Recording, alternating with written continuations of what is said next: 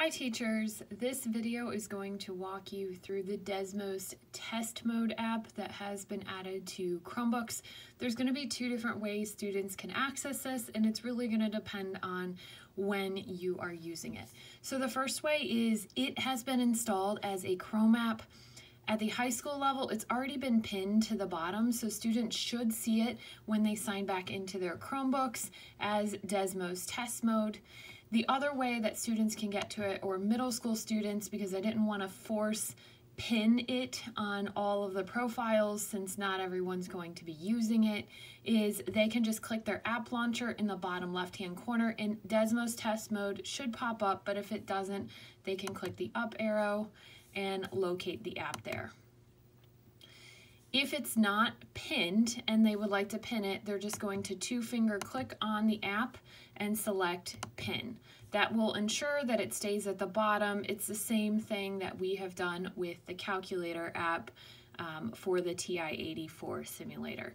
Now, using the Desmos test mode this way is not in a lockdown, so they can use a Chrome browser as well. This probably would be best when you are actively teaching and you want to use um, the Desmos test mode while you are teaching. That way they can still navigate to everything else on the Chromebook as well. Now, if you are testing or you want to simulate more that lockdown browser that students can actually, when they do the Desmos test mode on their phone and it locks things down, you do have the option on a Chromebook as well. Today is March 22nd and it probably will not show up until March 23rd. So I am going to show you what this looks like and then you can have students look for it starting tomorrow.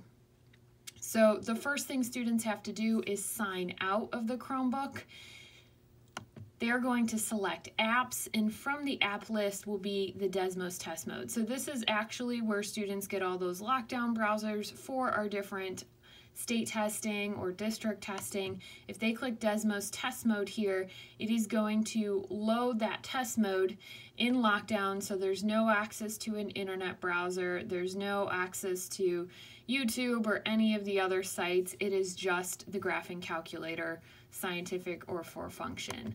Once I go ahead and start the test, this probably looks similar to what maybe you're used to with the student um, phones. When they click done, they will get the you have been using, the number of minutes, and then it does remind them that they can either continue their session or in order to exit this kiosk mode, they have to completely restart the Chromebook and that will get back them them back into the regular mode of the Chromebook where you have the browser and everything else. So these are both options for you. Hopefully this helps you better utilize this app and then you won't have to have students using phones. They can be using their Chromebooks for the same purpose. If you have any questions, don't hesitate to reach out. Remember, students will need to be logged in on their district Chromebook in order to access um, the kiosk mode that we're currently in, they will be able to get access to that Desmos test mode app on a personal device through their Chrome account as well.